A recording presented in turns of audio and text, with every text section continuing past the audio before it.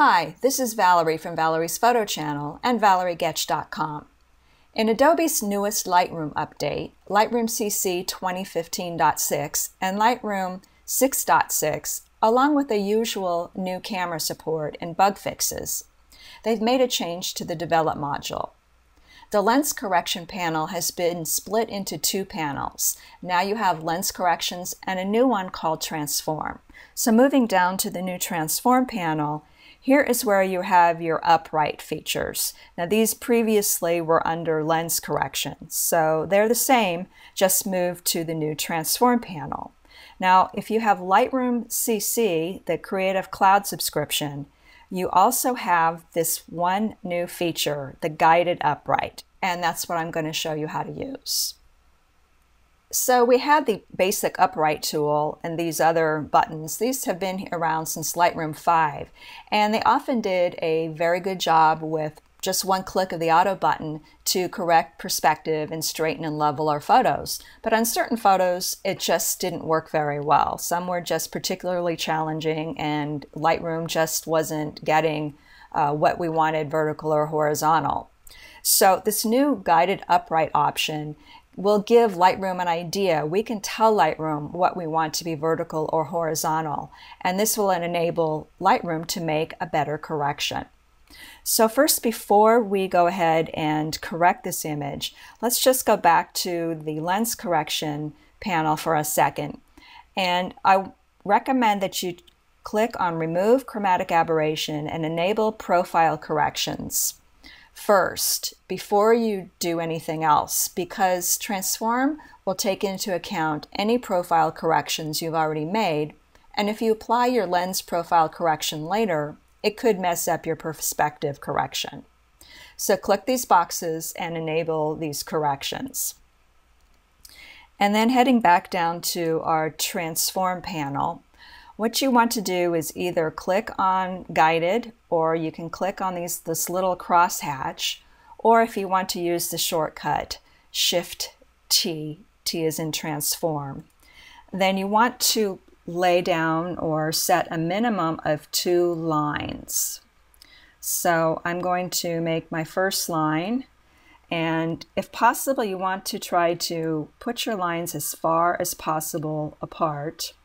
And what I'm doing is I'm just clicking and dragging and you can move, so you can move it around and you can place your line and then see now, trying to get it straight and then release when you're ready. And you can see it has made the correction. So it won't make a correction until you've set at least two lines. And then I'm going to go ahead and make a horizontal correction. I'm going to set another line here at this tower. And if you don't like your line, if you don't want that line here, if you change your mind, just click on it to make it active and I'm just going to delete it. Just hit the delete key and then I'm going to go ahead and reset it. And by the way, this loupe here, you can either choose to show or hide this loupe by using this checkbox in this menu down at the bottom. It's here to help you draw a more precise line and you may find it handy or it may bug you, so that's up to you. So I'm going to go ahead and set my line here. And I'm going to set another line here at this porch. And then we have our corrections. And you'll notice that you've got this white area on the sides. And I'm going to bring down the scale just to make it more obvious here.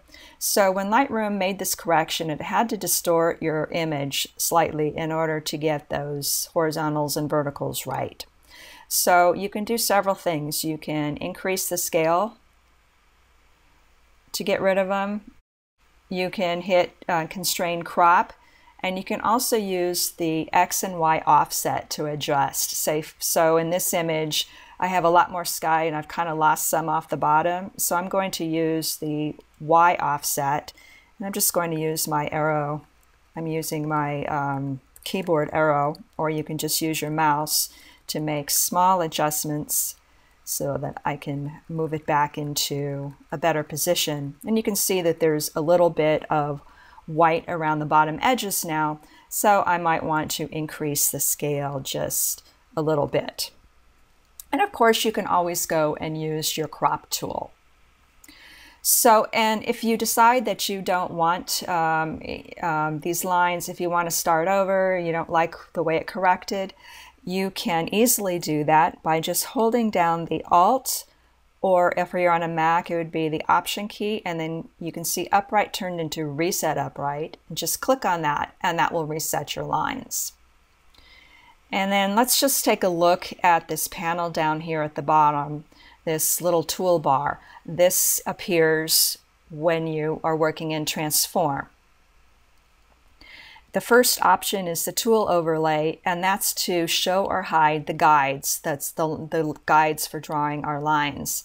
I tend to have it to show always, but you can either choose auto, never, or always. And then the grid overlay is to show your the grid lines and I have mine set to auto. You could always have it set to never. I don't recommend you set it to always because the grid lines will appear on all of your images all of the time, no matter which develop panel you're in. The reason why I like auto is because, let me just click on that to get out of it. The reason why I like auto is when I go and hover my mouse over here under these sliders, you can see the grid lines appear temporarily. And then I can just do that quickly to double check my horizontals and verticals to make sure I'm happy. And then when you're done using the tool, you can either set it back here or just click Done. So those are the basics of using the new Guided Upright tool. If you found this tutorial helpful, I hope you'll hit the like button and subscribe if you want to get all of my Lightroom tutorials. I'm Valerie Goettsch, and thanks for watching.